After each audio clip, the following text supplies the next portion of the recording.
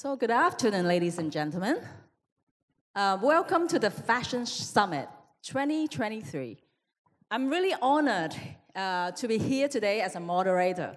So, I have three great speakers here on the panel with me. So, I hope that we can deliver a really fascinating um, you know, moments for in the next 45 minutes for us to enjoy uh, our dialogue on stage. So thank you so much for attending the event. So may I just uh, introduce a little bit about our speaker. So I have three prestigious high-level executive, um, you know, who has been working in this industry for a long time. So they have all the experience um, in driving strategic goals and priorities for, you know, for really um, you know, some of the leaders, I would say, in the industry. So I'm really fortunate to be, you know, sitting with three of them on stage on this moment. I really want to enjoy this moment with them. So may I uh, introduce um, Dr. Delman Lee, Vice Chair of TAL Apparel Limited. Dr. Lee is currently the Vice Chair of TAL Apparel Limited, he leads TAL Apparel on its long term strategy and continuous innovations in various aspects of the business. Major focus on digital transformation, disruptive technologies, business model innovations, and sustainability.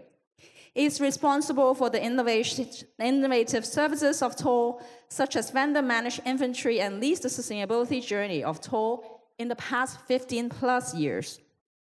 Dr. Lee possesses extensive experience in, in information technology and management in global operations. He also has a strong background in research. So, may I invite the second speaker, um, Mr. Andrew Lo, CEO of Crystal International Group Limited. Andrew Lo is currently the Executive Director and Chief Executive Officer of Crystal International Group Limited. He graduated from the University of Toronto with a bachelor degree in arts, majoring in economics.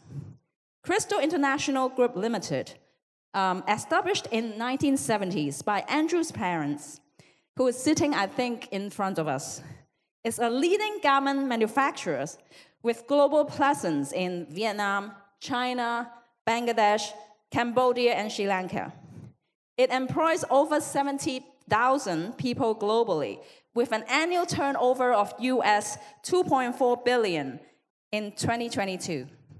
It produces over 400 million pieces of garments of five main product categories, including lifestyle wear, sportswear, denim, intimate, and sweater.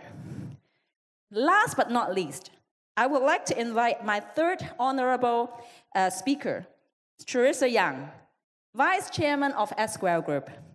So Teresa has been the chairman, vice chairman of Esquel Group since 2025. Esquel is a leading global knowledge-based innovation company, driven by its vision of making a difference, which focuses on two primary goals, tackling climate change and narrow, narrowing the wealth gap Teresa is also responsible for Esquel Group's strategic planning, serve as chairman of the Hong Kong Research Institute of Textile and Apparel, Hong Kong RITA. She actively participates in the development of Hong Kong's textile and clothing industry.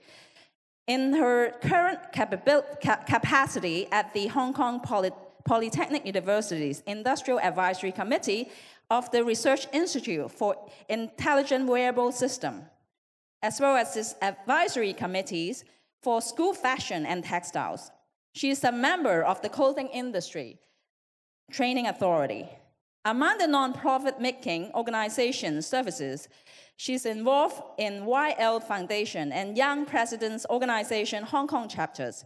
She is also selected as a North Asia Regional Honoree for the 2020 YPO Global Impact Award, she holds an MBA from the Chinese University of Hong Kong and Bachelor of Business Administration degree from the University of Hawaii. So, without further ado, I would like to um, talk a little bit about, in the next few minutes, about the objective of this session. I'm sure that um, everybody is aware the session is more about beyond the target. So, um, for those of you who are very familiar and working with climate change, you will see more and more companies around the globe are making bold commitments to combat climate change. And there's a recent report by the Science Based Target Initiative, which report the highest number of targets on record alone in 2022. To give you some figures, in 2021 alone, 1,082 uh, science-based target was approved by SBTi, which is Science-Based Target Initiative. And 1,171 companies are committed to set science-based target. So if you count your numbers in total, that would include about 2,000 plus companies are committing to set targets and drive actions to tackle climate change. If we look back into five years ago, we only have 109 companies approved SBTs, 106 companies committed to set SBT. So you will see there's a, you know, there's a huge difference compared to where we are five years ago. And just to give you the total, so we have around 6,000 companies currently taking actions on climate change, which, which are committed to set science-based target and approved by SBTi. So just to give you a background in terms of scale. Um, and then um, another research piece before we tap into the climate action. So according to research, um, if you are approved by the SBT, you have to be aligned with your climate action. That means your reduction has to be at least 4.2% reduction of emission per year. But from research, if companies are having approved science-based target, they tend to go faster. So uh, we've seen that there is a linear rate of 8.8%, scope one and two reduction um, a year per during the period as with the approved target. So definitely the science setting science-based target is, you know, resulting in faster, driving faster climate action. So the gift, so with the a lot of experience and, and with the speakers, um, I would like to open up a little bit about to understand about in order to achieve the science-based target or commitment, um, you know, by the date, um, companies will need to evaluate a few things in terms of resources. Financially, human resources and expertise, organization, structure, uh, regulatory requirements, and how to secure full organization support to actually prioritize decarbonization priorities in order to achieve just and equitable low carbon transition. So without further ado, let me turn to my left hand side uh, so Delman, uh, Dr. Lee, so can you tell me a little bit about, you know, about your key pillars? Um, I know that, you know, three of you, your companies already committed to a long-term net zero goal by 2050. So Delman, can you tell us a little bit more about the key pillars of uh, TAL's climate action program? Thank you, Joyce. Yeah, thanks, Delman. Hopefully it'll be an interesting conversation. Yeah. Um, so, just a bit of background. So, um, when we started on the sustainability journey, the pillars of environmental and the strategy was relatively simple at that time, maybe too naive.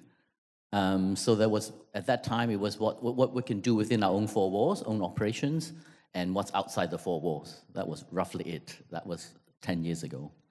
Um, with the recent urgency in, in uh, climate change, and then the science tells us that we need to reach certain numbers by 2030, which is less than 10 years' time, and net zero by 2050, everyone's, it's sort of, um, have been on the journey for a while, still needs to do a lot. And so our current strategy actually now has, has four pillars, you could say. Um, sustainable operations, which is still things within our own control, uh, within our own facility. Sustainable supply chain, this is when we start reaching out to our supply chain partners, uh, in particular upstream partners, where, as you know, um, you may have heard from Jeremy earlier on that one of the hotspots is in the fabric mills. Um, so that one is supply chain, uh, sustainable supply chain.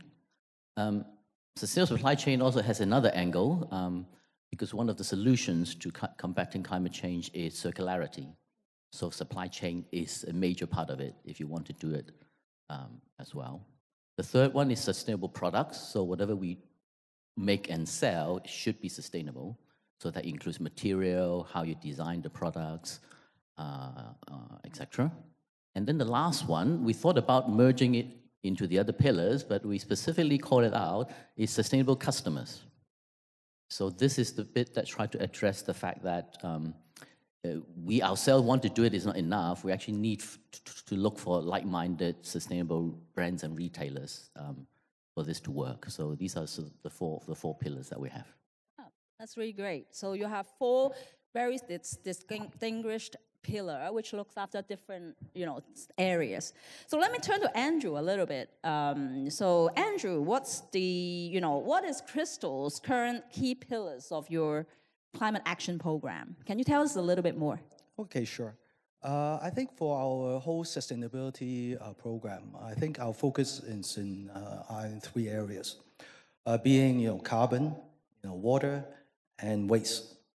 So on the carbon part, like you mentioned earlier, uh, we have committed to carbon net zero by 2050 and a uh, absolute reduction of 35% by 2030. But actually, our challenge is more than that 35%. Uh, because 35% is absolute reduction, any of our growth in capacity uh, needs to be 100% reduced. So after calculation, our, uh, we need to reduce our uh, our carbon emission by 70%, you know, uh, by 2030. So, so 30% is, 35% uh, is much easier, 70% is much tougher. So what are we doing about this? Um, the way we are tackling this is uh, we have committed to put solar panels onto all of our factory roofs. Uh, we calculated around 20%. Uh, it can help to reduce our energy usage by around 20%. Uh, and then we also employed an energy consultant to go through all of our factories to look at energy saving initiatives. That is another around 10% savings there. So, so these are solid savings that we can calculate. Uh, and uh, the third part of, of the savings comes from productivity. So the, the more we look into our operations, actually what we found is there are a lot of waste, uh, uh actually uh, waste that we cannot see is, you know, is idle time waste, you know, a lot of productivity waste. So uh, we, we reckon that we can save at least another 20%, you know, uh, improve 20% productivity, which will help us to reduce our energy intense, uh, the, the, the carbon uh, intensity by around 20%. So, so these three initiatives will help us uh, on the carbon side, you know. So even with, with these three, it will not cover the 70% that we need to do. So we don't have all the answers yet. You know, uh, we, we are still exploring all, uh, the rest of the answers uh, to get us to our climate goals. Uh, although we still have you know six more years to go, you know uh, seven more years to go. So hopefully we'll find all the answers by then. Uh, the second part is water. You know, so water is kind of understated in the recent you know in the recent you know discussions. You know. Uh, but fresh water is getting scarce. Uh, it's not enough fresh water for, for, for the world. Uh, so I think you know we are we have focused a lot of energy in reducing the the water that we use. So in our last five-year plan uh, that has been completed in 2022, we have already uh, saved another. We have saved around 33% of water, you know, of fresh water usage through you know recycling water and also by changing to more energy efficient, you know, uh, washing machines, uh, dyeing machines, etc. You know, and uh, because we are only you know partway through the whole program, so we see that you know we will have further savings in the coming five years. And the uh, last uh, part uh, is waste. You know, so we have committed to zero production waste to landfill. So hopefully these three can help the world, you know, to improve the environment very comprehensive uh, strategy as well. So let me turn to Teresa. So Teresa, can you tell us a little bit about Esquel's perspective and how, what, the, what are the key pillars in your climate action program? Okay, thank you, Joyce. I think the first two um, speakers have really covered a lot. Um, but I'm happy to share also what Esquel is doing. Um, for Esquel, you know, under our vision of making a difference, we um, specifically focus on climate change as well as wealth gap. And for today, I guess we are more focused on the climate action program. So I'll just share uh, what we're really doing on the climate action side. Um, I think for us, because we're vertically integrated, mm. and so we have started a journey about 20 years ago, and it has not been an easy journey.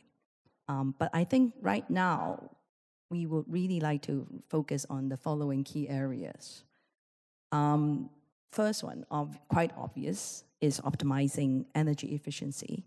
Um, I think the first two speakers have also pointed out, you know, we can do a lot to help uh, reduce waste, and especially during our production process, there's so much we can do in re-engineering the process. Um, and so that's for sure our number one. Number two is to drive responsible material consumption. Um, again, you know, because we're vertically integrated, so in between each process, um, we can also do quite a bit in the product design, starting from the product design, and then all the way to the production workshops, um, as well as educating our operators. So, for one example, just by reducing the rework percentage has already helped us to address both number one and number two.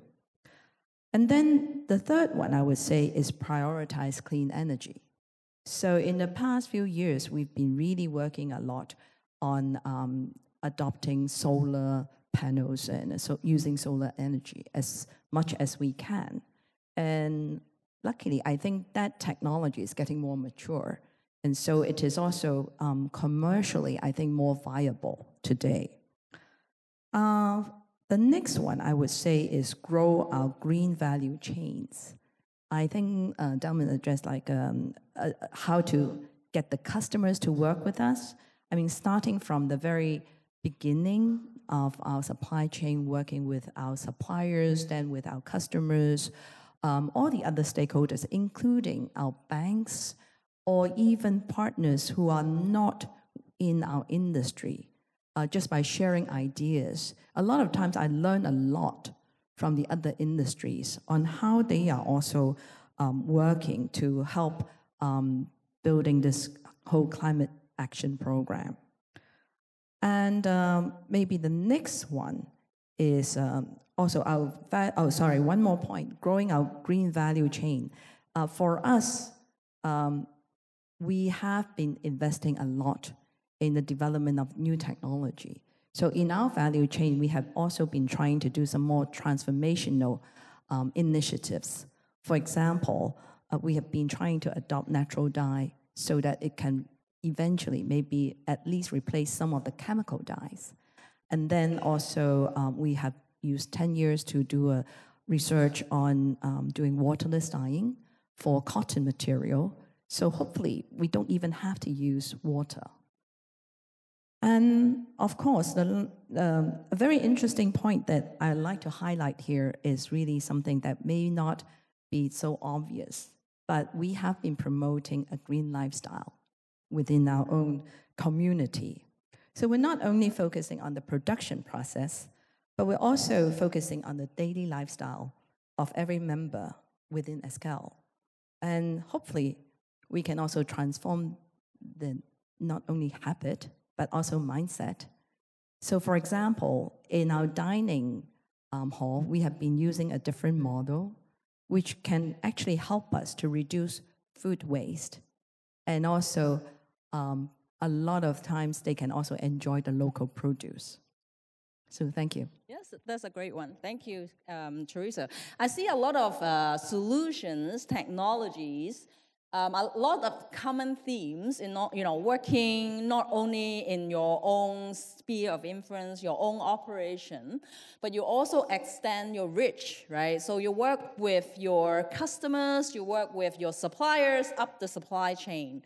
So I, see a lot of innovations and solutions and common areas to drive, you know, materials innovation, um, process change, um, even you know upgrading your wastewater treatment plant, and also upscaling renewable energy.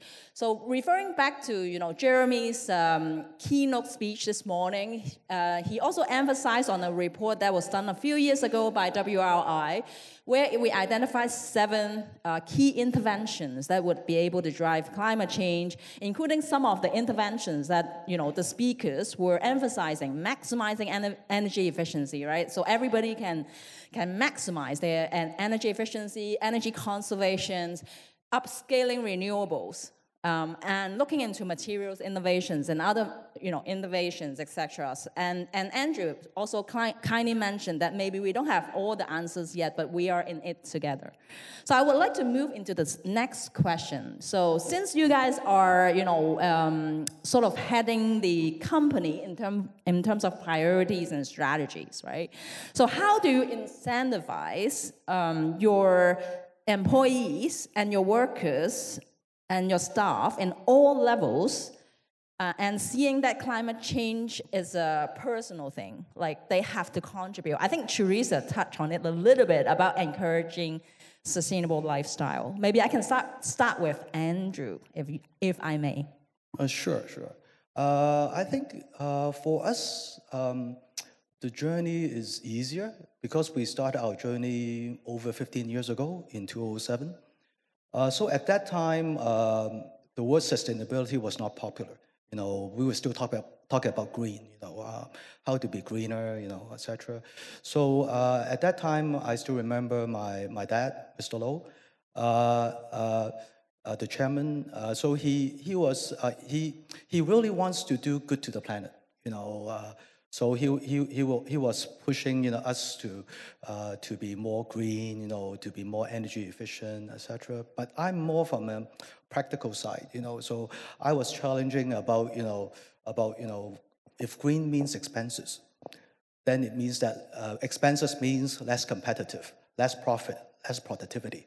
It does not work, right? So, uh, so at that time we argued a lot, uh, and at the end, what we found is we found another word in terms of not expenses, investment. So, uh, so initial, so if it's an investment, investment means there's a return on the money that we put in. Mm. Expenses, you, you know, is gone. You know, money you put in is gone. So if it is, if it is an investment, it will align with business goals. So, uh, so I was a little bit skeptical in the beginning, you know, about you know how how much, uh, you know, about the investment return part. Uh, so the initial projects we did, uh, actually the returns were, were just phenomenal. Uh, they were more like 25% return, 30% return. So, or uh, I think some of it is two and a half years return. So really, really fast return projects. So that, I, I think with those type of projects, it gave us a lot of confidence about investing in, uh, in uh, uh, green technologies at that time, you know.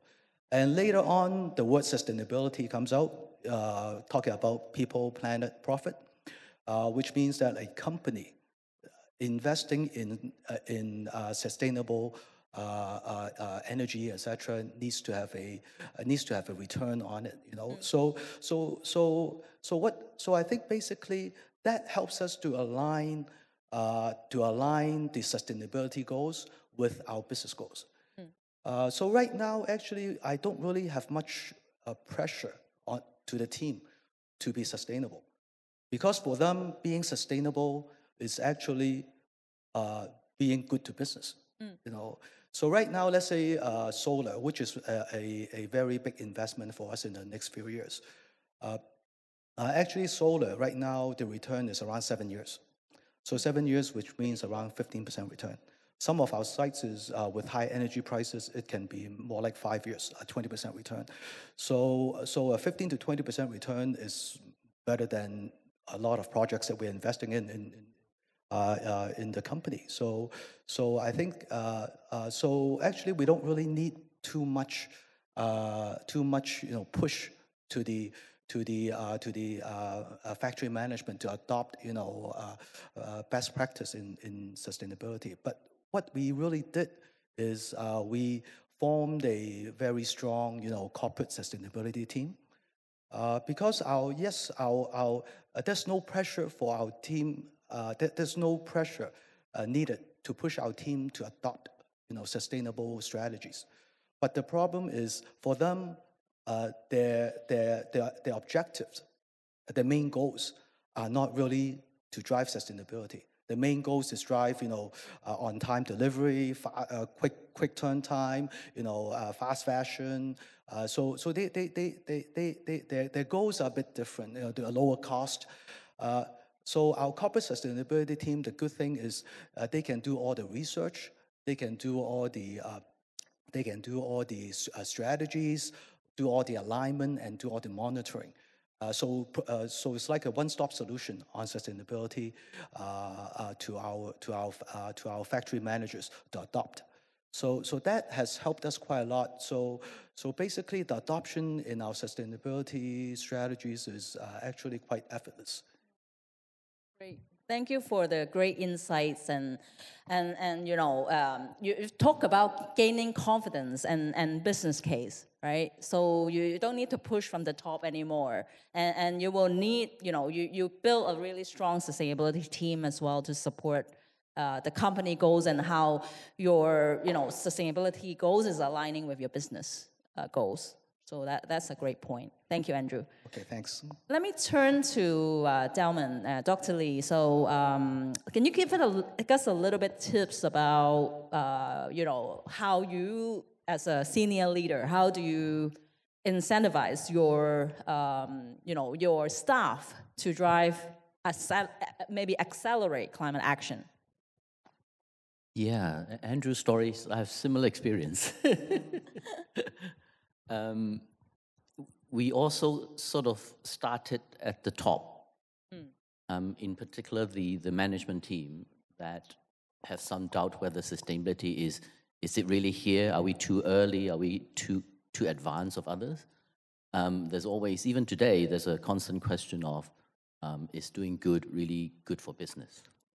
Um, but we started at the top. We showed them signs of um, how the, the world needs it, the science needs it. And then, of course, more recently, everybody can see the regulations are coming. Mm. Um, so to, to even remain in business and let alone to be competitive, you, you have to start to work on sustainability. So we started at the top, convincing the top, and then actually in all the our three-year plans or annual plan, the sustainability has targets in, the, in there as well. And then like uh, every annual dinner, we will have uh, awards for the most sustainable factory in terms of improvements that they make, either in climate change or, or in water. Um, and I'm not exactly where Andrew is. Um, I think sustainability is more or less embedded, not everywhere yet. Um, the sustainability in our organization is small, it's only like four people.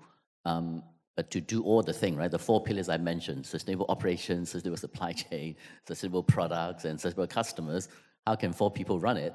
So of course they can't, so it has to be embedded in, in every department's uh, uh work. Um, so that's it, to a certain extent uh, uh, uh embedded.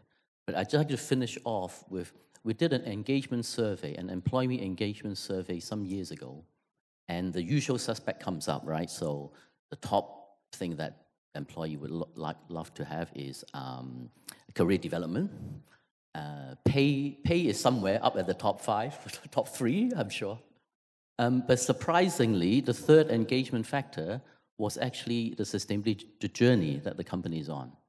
So so when I saw that, I was so very happy that the fact that all these things we put in, annual plan, three-year plan, but actually you find that uh, employees are actually engaged by, by your purpose that, that the company is going through. So that's, that's, yeah, that's, that's my journey so far. Thanks, Delman, for uh, sharing your journey. So just for, you know, the last speaker, um, so Teresa, do you have anything to add? I know that you started like, uh, you know, how you encourage your staff, growing your produce on site and, and consuming them on site. That must be very exciting for the staff as well. Yeah, I, I, um, I share a lot of the common experience that the two um, speakers have um, went through. And uh, at, at I think um, other than those experiences, what we have really put in effort is to build our own e-culture. And um, we have got a five e-culture that starts with ethics, uh, where we all understand that it's our, it is our responsibility to take an active role to protect our planet and also our community. And then environment, where we all take an active role also in looking for ways to improve key areas such as energy or water or air quality initiatives. Uh, third one is exploration, where we will put in efforts to look for transformational technology to change the process, such as you know spending 10 years looking for a waterless dyeing technology. And then comes excellence, which means that we cannot forego also the importance of quality or profit while we are working on these initiatives. And lastly is education, which I think is also very important yeah. because it's a constant um, effort to work on developing our members to be prepared and to learn new knowledge and to adopt new ways of working. So I think this e-culture has helped us to really build, uh, these have, have become the DNA for every members. And uh, so it is a lot easier for us as a group um, to move forward on the very challenging sustainability journey. Yeah, thanks for sharing a very insightful journey. Thanks to three of you. So my last question, as we have three minutes left, um, I would like to touch upon, you know, very important questions. I think three of you also addressed. Not only working uh, on improving your, you know, more efficient machines and operation and education about, you know, your own staff, also working with your customers and suppliers, and also, you know, also may, maybe partnering with other your competitors as well, right? So um, in terms of building collaborative ecosystem, um, we know that energy transition, we, we enable this low carbon transition. Um, nobody can do this alone, um, you know. So, um, so I, we have three minutes left. I, I maybe I would like uh, to steal your brain a little bit. What is the top two tips that you would give to other companies um, you know, building the ecosystem, trying to start the journey, where would you be recommending them if they want to start the, tackling the climate challenge? Where should they start? So maybe the question goes to um, Teresa first, just to be fair.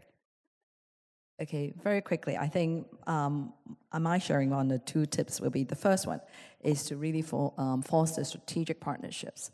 I think which we have mentioned, like it is important to get all the partners within the supply chain to be aligned, and uh, also it's um, your commitment because sometimes you may not find a supplier who is willing to do this, but then they can be very very cheap. Um, then it's your your commitment saying that no, I still don't want to work with them. And um, so um, you have to look for a smarter way. And also, also to share very, um, you know, um, the second one will be internally, um, we have continuously conduct education to engage our members. So I think getting all the members within your own team to really be engaged and willing to embrace this um, is also a very, very important part of making this ecosystem work. Great. So um, I would like to turn to Delman, if I may. Um, so, what's your top two tips if somebody needs to start this climate challenge journey? Where would you recommend someone to start? So on this last subject, we only have 40 seconds. running out of time, sorry. Um, We're running out of time when it comes to 2030 also. Of course. Um, so I'm going to steal some time here. Um, I'm gonna, I think it's going to be top one tip. Um, it's, it's a scary target, all the numbers that Andrew mentioned and others. It's a scary target. It's not like any other target that you may have set your organization where you know the solutions. So being scared of it, doing it, and committing to it, it's, it's, it's normal. so that's the first thing, first psychological barrier you need to get through. Um, the second, I get, well, it's the same point, is that there are a lot of us on this same boat that have made the commitment because the, the planet needs it in, in super quick time. Um, so there's a lot of help available. Any one of us and others in the room can actually help to share the experience with you. And so be prepared that it's a scary target. None of us have all the answers. Um, there are a lot of help available. Getting your own organization incentivized with some of the things we mentioned before is important. But the other difficult thing is you need to be prepared to go beyond your own organization. That's where the word collaborative effort, collective action comes into play. Not just down and up and down the supply chain with your customer, with your supplier, also possibly with fellow manufacturers, things that we learned. I learned a few things from Andrew over lunch, what he's doing as well. So sharing amongst manufacturers um, within Hong Kong, within the industry, uh, as well. So SAC, Sustainable Apparel Coalition, of course, is one organization that helps to bring everyone's together and, and share experiences on, on what to do. And I guess that's it. Um, if you're committed, there's a lot of help, but don't, it's, it's a little bit scary, but it's okay. Yeah. Thanks, Delman, for calming us down. So don't get too scared. Let me turn to Andrew. Um, so, what are your top tips um, you know, in tackling climate change for someone who start the journey, uh, rather other than in addition, not to be scared. Okay, uh, I know I'm on negative time, so but anyways, I, I, think you know I agree with what Teresa and uh, what Delman had said, hundred percent. You know, so I, I might just add a little bit uh, due to time. Uh, so I think it is very. I think I was. I would say the most important part is really you know the the whole supply chain collaboration. You know how to work with your customers. You know to see whether how serious the customers are, and and then push back to the customer. You know because it's uh, you know uh, just us as apparel manufacturers cannot do things alone. You know we need to work with our customers uh, to tell them what what they need to do to help us uh, they might not do it, but at least you know we need to communicate what we need them to do. You know, uh, and at the same time, same thing with our with the fabric mills and other suppliers. We need to communicate with them.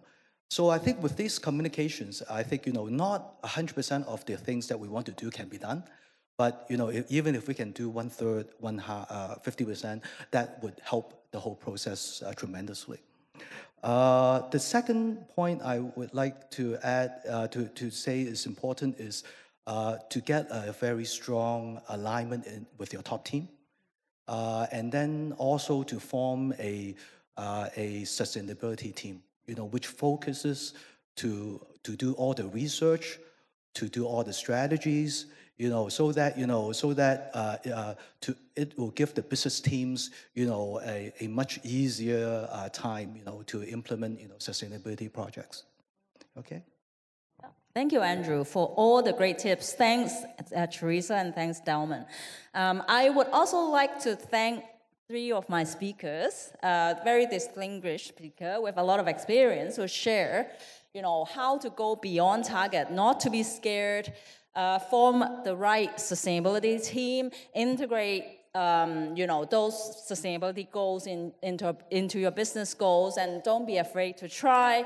Um, there are other tips on you know talking to your customers and, and try to voice out your concern and you know you might not get heard but one day you know, you know you never know right? So one day you might be able to get what you want so thank you so much. Um, so from the Sustainable Apparel Coalition, uh, I also want to give you some tips. So we have a decarbonization guide, which is free to download from our website, apparelcoalition.org. So feel free to download the decarbonization guide if you want to start your journey and I'm happy to help. And there are also Sustainable Apparel Coalition's uh, staff here who can also give you some tips on how do we go about in tackling climate change. So thank you so much for attending, and thank you three of my speaker um, for attending the you know um, wonderful sharing experience and insights. So thank you so much, and I appreciate all your time and effort. Thank you so much.